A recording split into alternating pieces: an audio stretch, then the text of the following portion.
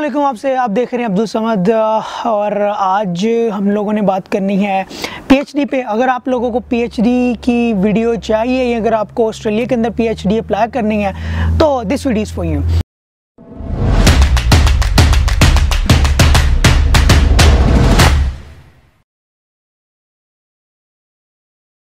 हम लोगों ने अप्लाई करना है पीएचडी ऑस्ट्रेलिया में आप लोग पीएचडी कैसे अप्लाई कर सकते हैं? आज हमने उस पर बात करनी है। आ, सबसे पहले तो इस इस वीडियो को बनाने का मकसद ये है कि इस वीडियो के ऊपर लोगों की बहुत ज़्यादा डिमांड थी। तो इसलिए फिर मैंने सोचा कि भाई पीएचडी जो है ना उसके ऊपर एक वीडियो बनाई जाए ताकि जिन लोगों के क्वेश्चन हैं वो क्वेश्चन पूरे किए जा सकें। तो आज हम लोग बाहर बैठे हैं जाना है और आपने वहाँ पर देखना है कि अगर वो स्कॉलरशिप आपको दे रहे हैं तो आपने सबसे पहले यूनिवर्सिटी को एक प्रपोज़ल लिखना है। स्कॉलरशिप प्रपोज़ल आपने उनको लिखना है। और ये प्रपोज़ल तकरीबन दो से तीन पेजों का होना चाहिए, जो कि एक रिसर्च प्रपोज़ल होता है, जो कि आपने एक दो से तीन पेजों का लिखना है।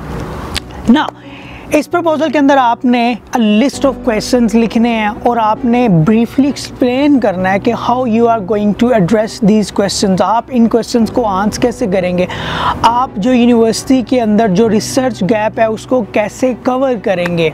यहाँ पे हम लोगों ने बात करनी है कि डोमेस्टिक और इंटरनेशनल स्टूडेंट्स जो डोमेस्टिक स्टूडेंट्स हैं, उनको ऑस्ट्रेलिया के अंदर पीएचडी की फ़ी पे नहीं करनी पड़ती। यानी कि जो लोग ऑस्ट्रेलियन सिटीज़न हैं या लोग जो पीआर होल्डर हैं उनको ऑस्ट्रेलियन गवर्नमेंट जो है रिसर्च स्कीम, उसके डी आर टी है आर टी एस सॉरी एक आर टी एस है, रिसर्च ट्रेनिंग स्कीम, उसके तहत उनको यहाँ पे फ़ी नहीं पे करनी पड़ती, लेकिन जो इंटरनेशनल स्टूडेंट है, उनको अपनी सारी फ़ी पे करनी पड़ती है, लेकिन अगर आप लोग स्कॉलरशिप देख रहे हैं एक्सक्यूज़ मी तो आप लोगों ने स्कॉलरशिप के लिए उसके लिए पहले एलिजिबल होना है, ठीक है? तो जो मैंने आपको क्वेश्चन बताए थे कि आपने एक लिस्ट ऑफ़ क्वेश्चन लिखने और आपने उनको बताना है कि how you going to solve this question with the passage of a literature review आपने उसके अंदर एक लिटरेचर रिव्यू को भी मैंशन करना है कि आपने इन क्वेश्चन को कैसे सॉल्व करना है ताकि ये जो रिसर्च की स्कॉलरशिप है, ये आपको कैसे मिले। नो द क्वेश्चन इज़ यहाँ पे क्वेश्चन आता है कि आयल्स इसके लिए रिक्वायर्ड है कि नहीं। जी हाँ इसके लिए आयल्स जो है वो रिक्वायर्ड है। मिनिमम आयल्स जो है वो 6.5 है, लेकिन मेडिसिन और लॉ के जो सेक्टर हैं, उसका इससे भी ज़्यादा है। ना इसके लिए आपको एक और चीज़ करनी है, वो चीज़ ये है कि आप लोगों को एक सुपरवाइज़र ढूंढना यूनिवर्सिटी के अंदर।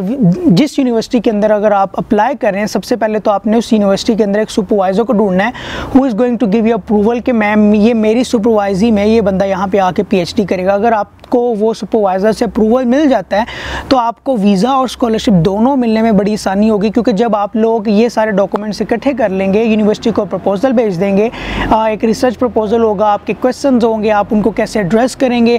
प्लस आपका एक सुपरवाइज़र होगा जो कि आपको स्कॉलरशिप के दौरान सुपरवाइज़ करेगा और आपका आइल्स होगा और ये सारे डॉक्यूमेंट्स आपने या तो जेपी से अटेस्टेड करवाना या इक्वलेंट बंदा जो होगा पाकिस्तान में।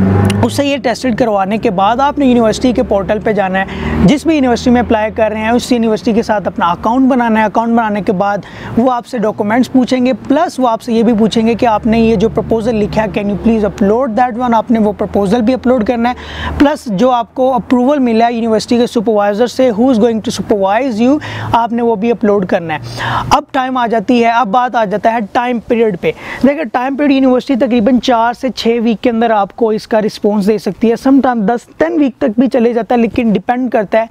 मिनिमम जो स्टूडेंट से मैंने पूछा, उनका यही कहना है कि चार से छः वीक के अंदर आपको रिप्लाई कर देती है। इस दौरान अगर यूनिवर्सिटी को आपसे कोई और डॉक्यूमेंट्स की रिक्वायरमेंट हो तो वो आपसे पूछ लेते हैं। चार से छः वीक के अंदर अंदर आपको वो अपना रिस्पॉन्स दे देते हैं कि either they are going to give a scholarship और नॉट स्कॉलर और उसको स्कॉलरशिप नहीं दे रहे। और ये प्रोसीजर है सारा पी के लिए। लेकिन अगेन मैं आपको बता रहा हूँ P H D is really competitive it's not easy क्योंकि स्टूडेंट्स दुनिया भर से अप्लाई कर रहे होते हैं तो हर यूनिवर्सिटी के पास एक लिमिटेड सीट्स होते हैं तो ये गारंटी नहीं होती एक चांस होता है।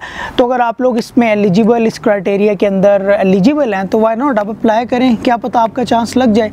तो अल सी नेक्स्ट वीडियो तो ये थी आज की वीडियो अगर आपको ये वीडियो अच्छी लगी है तो kindly see my YouTube channel my Facebook और अगर आपको कोई क्वेश्चन रह गया you can message me on Instagram I am happy to respond